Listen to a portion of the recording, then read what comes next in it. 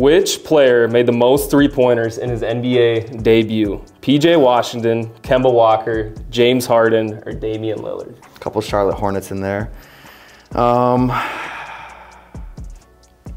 based off the last question that I got wrong, I'm gonna say PJ Washington. Correct. Let's go. What an answer. What an Come answer. on, Charlotte Hornets.